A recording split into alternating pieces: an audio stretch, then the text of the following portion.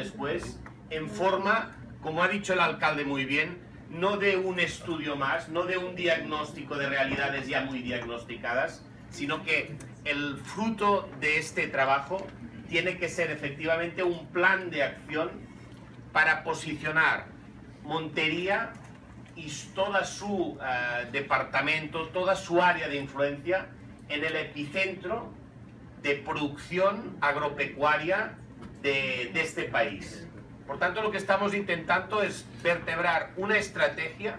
efectiva basada en un profundo conocimiento de la realidad, que ustedes nos pueden y nos tendrán que ayudar muchísimo, porque ustedes son los poseedores del conocimiento profundo de lo que tienen entre manos. Lo que tenemos es que articular una estrategia de competitividad y este ha sido el encargo que yo quiero agradecer al BID, a FINDETER